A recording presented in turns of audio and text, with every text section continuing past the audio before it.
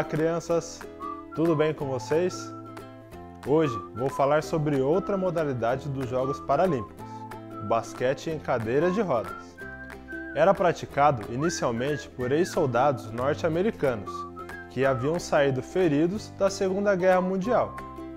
O basquete em cadeira de rodas fez parte de todas as edições já realizadas dos Jogos Paralímpicos.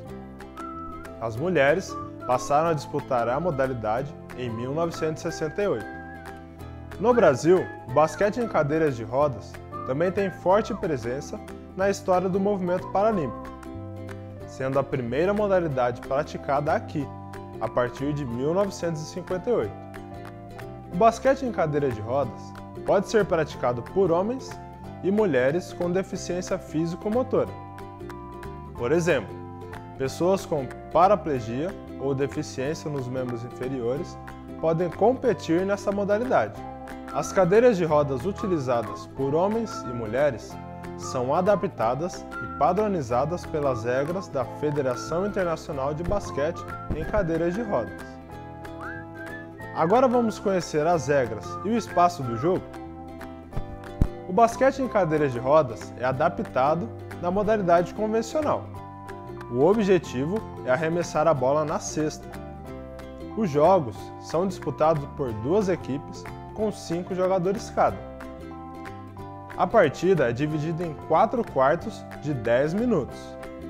A principal diferença em relação ao basquete convencional é que os jogadores devem quicar, arremessar ou passar a bola a cada dois toques dados na cadeira de rodas.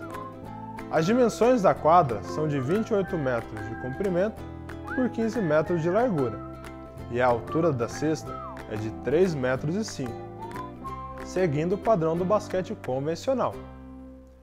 É obrigatório que todos os jogadores utilizem a cadeira de rodas própria para o basquete. É comum ter uma barra protetora lateral na cadeira para a proteção do atleta. Na parte traseira do equipamento existe uma rodinha de apoio, que tem função de anti-queda. Assim como nos outros esportes que vimos, no basquete em cadeiras de rodas, os atletas também são avaliados pelo grau de deficiência. Na classificação funcional, os atletas são avaliados conforme o comprometimento físico-motor, em uma escala de 1 a 4,5. Quanto maior a deficiência, menor a classe. Chame alguém que mora na sua casa para te ajudar a arrumar os materiais que vamos utilizar e o espaço para praticar essa modalidade. Vamos precisar de uma bolinha de meia, uma cadeira, um balde e uma mesa para apoiar o balde. Primeiro, posicione a mesa com o balde em cima. Depois, conte alguns passos e coloque a cadeira. O objetivo é arremessar a bolinha sentado, fazendo uma cesta de frente e depois de lado, como se estivesse se deslocando em quadra. Estão prontos? Então vamos jogar!